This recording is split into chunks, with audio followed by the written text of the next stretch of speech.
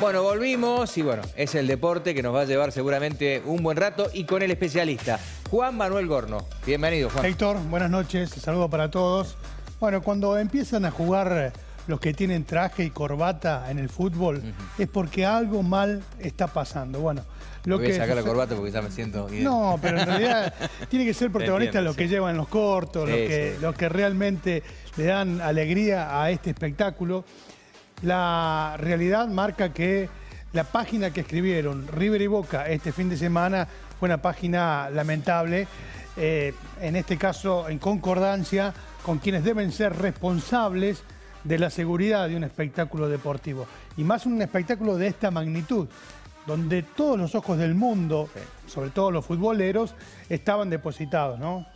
En el Monumental, donde se escribieron algunas páginas también históricas dentro de lo que es el, eh, mundo del fútbol argentino. ¿no? Hablamos ya del Mundial 78, eh, en aquella vuelta olímpica, River tuvo el descenso ahí, sus propios, sus propios hinchas eh, le, prendieron fuego al estadio. Bueno, hubo algunas páginas eh, positivas y negativas dentro del Monumental y esta es prácticamente otra que queda en la historia, más allá que la violencia no se dio dentro del estadio. En vez de venir a mostrarnos los goles, eh, venís a mostrar lo que estamos viendo detrás nuestro ahora con pantalla completa.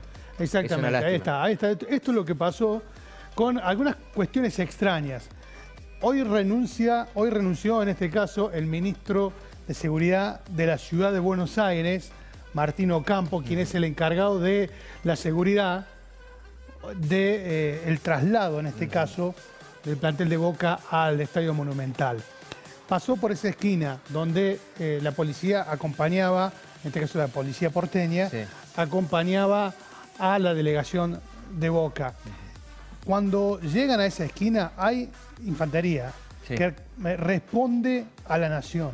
Una interna, se habla de esta, una interna entre la nación y la provincia, genera también que no haya actuado como, se, como correspondía. En este caso, quienes debían hacer el vallado. Yo lo escuchaba hoy, digo, porque es bueno escuchar a aquellos que están en la diaria y que no tienen un compromiso directo con, con nadie, eh, Juan.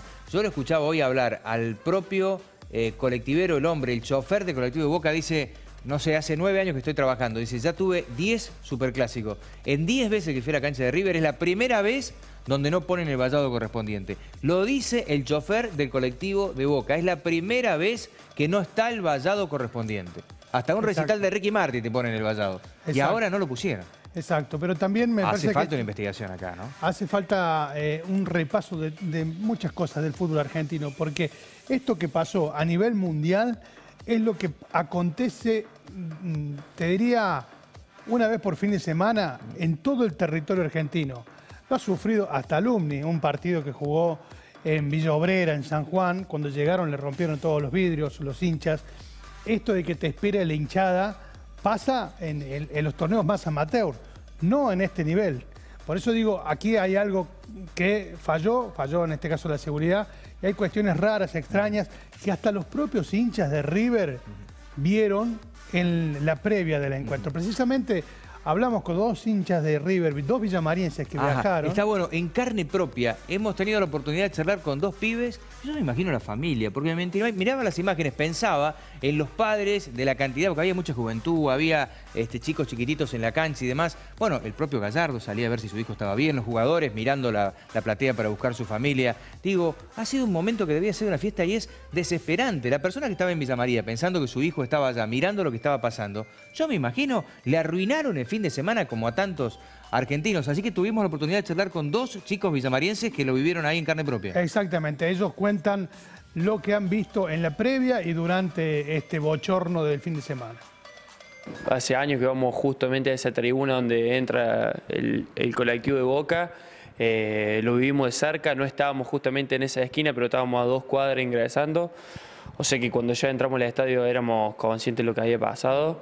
Eh, bueno, la verdad que muy, muy feo el ambiente, muy tenso. Desde antes de que pase el colectivo de Boca se veía una predisposición por parte de la policía a, generar tensión, eh, a demorar mucho, mucho tiempo el ingreso de, los hinchas de River en un lugar que habitualmente eh, no se concentra gente, porque el primer control está recién a 100 metros de la esquina donde pasan los, incidentes.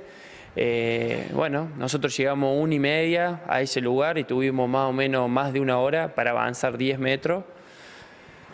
así que bueno, cuando cuando recién estábamos, cuando estábamos ya casi entrando al estadio, a las dos cuadras vimos que pasaba el colectivo roto, bueno, después la policía se volvió, hubo gas lacrimógeno, eh, corrida, gente que se desvaneció, pero bueno, lo que se vio, lo que pasó. Y nosotros ya estando adentro, eh, la verdad que estábamos defraudados por lo que es la voz del estadio, que nunca nos avisó si se suspendía el partido o no. Cuando eran las 5 de la tarde, era todo por celular, que ahí casi nunca hay señal. Eh, uno decía una cosa, otra cosa de Pablo Pérez, que lo habían llevado, que no, que no se jugaba, que sí, así que la bola del estadio anunció que a las 19 horas se jugaba. Y después cuando llegan a 18.45 sale el utilero de Boca a poner los conos y las pelotas, que ahí dijimos tenemos una chance, esperanza de que se juegue. 19 horas vimos que no salieron los arqueros a, hacer la entrada en calor, que siempre salen. Ahí dijimos ya casi que estaba terminado y nunca la voz del estadio nos avisó si se suspendía o no. La gente se empezó a levantar, se iba. Así que todo bastante, digamos, defraudó con, con el club, con la bola estoy esperando que nos avise si se suspende o no. Una vez que la gente empieza a salir, ya estaba la policía esperando a los hinchas de River para, digamos, para pegarle unos palazos, así que la gente empezó a volver de nuevo al estadio corriendo y se vivió un momento feo, sí. Eh, los colectivos siempre pasan por esa calle de Quintero, siempre entra Boca. Hace tres semanas entró la gente de gremio con 10 colectivos y jamás voló una piedra. Pero bueno, en este momento nos, no nos dejaban pasar, no nos dejaban pasar, estaban aguantando y cuando cayó el colectivo Boca, lamentablemente sí. ¿Dónde queda lo futbolístico en medio de este contexto? Porque por ahí uno escucha hincha que dice, bueno, ya ni me importa ver el partido, y de Boca, de River. A ustedes, particularmente, ¿dónde queda o qué lugar ocupa la parte futbolística? Porque hay una copa por definir. Y ya eh, ahora ya como que se baja un poco la adrenalina que tenemos de vivir una final, ya estamos esperando qué pasa, recién mañana se va a juntar eh, allá la gente para decir fecha, horario, muchos dicen que no se juega, otros dicen que sí, pero bueno, ya es como que se bajaron todos los ánimos que tenemos de ver la, gran final, que era la final del año y terminó siendo una vergüenza para todo, para todo el mundo, sí, salió en todo el mundo que un papelón lo que pasa. Eh, no literalmente, pero nos trajiste virtualmente el escritorio para mostrarnos si se define en el escritorio lo que puede pasar. Exactamente, sí. Antes que nada, recién decía que renunció el ministro de Gobierno, de, seguridad, en este caso. De la Ciudad de Buenos Aires. De la Ciudad de Buenos Aires. ¿Quién se hace cargo de la seguridad ahora? ¿Quién? Se llama Diego Santilli, es el vicejefe de gobierno de la Ciudad de Buenos Aires y fue candidato a presidente de River opositor a Rodolfo Donofrio, el actual... Él se va a hacer cargo de la seguridad, claro. en realidad en lo inmediato, hasta que nombren a alguien, entiendo. Sí, sí, sí, pero bueno, eh, por ahí se mezclan algunas cuestiones, Lo increíble es que yo vi la conferencia de prensa por el jefe de la ciudad de, Buenos Aires y vi la conferencia de prensa del presidente, en ningún momento la gente de seguridad este, le cargó responsabilidades al jefe del operativo.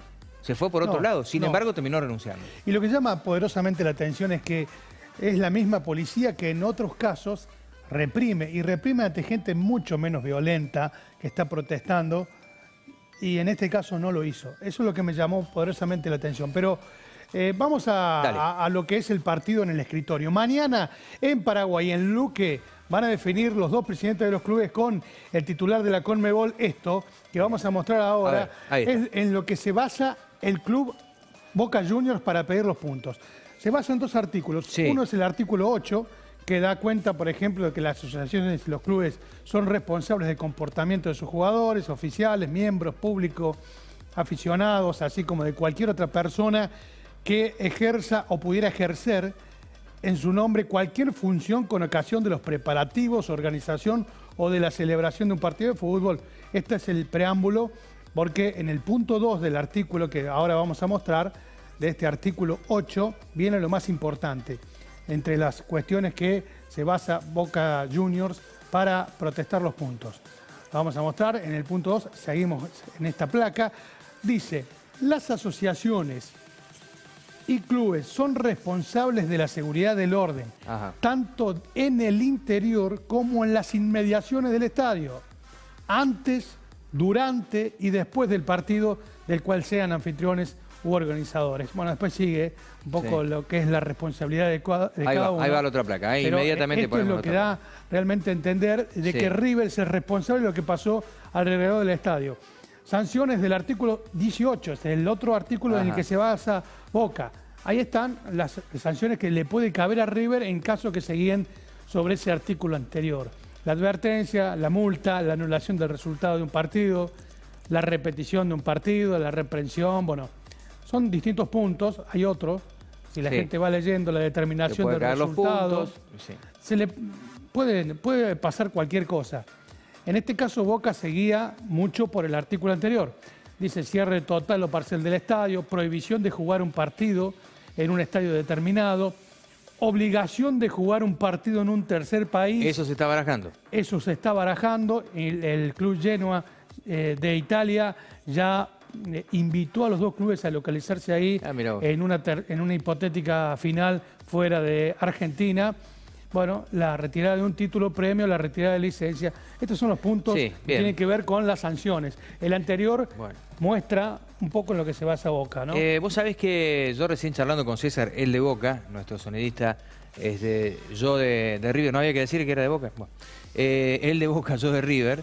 y, los dos coincidíamos en algo ya nos pasa a, la gran mayoría de que ha pasado un segundo plano el partido. Ya la verdad te digo de que nos han quitado hasta la ilusión de ver el partido. Me parece de todas maneras que si se llega a jugar, como hincha de River quiero que se juegue, obviamente después estará el de Boca parado en otro lugar, pero si se llega a jugar, me parece que eh, no está mal que se juegue en otro país. La verdad, como están dadas las condiciones, solo se dice puede jugar acá. Sí, sí, eh, eh, el tema es que por lo general, fuera del país, los que viajan, la mayoría de los que viajan son los barra brava. Eso es lo que llama poderosamente la atención. Cuando Boca juega una final por el Mundial, los jugadores terminan festejando con la 12. Y los borrachos del tablón con River. bueno, que se cheque bien, que juguemos en Rusia, que organizó bien el Mundial y no hubo problema con Barra Es así, es así. ¿Qué sé yo? Digo, por decir.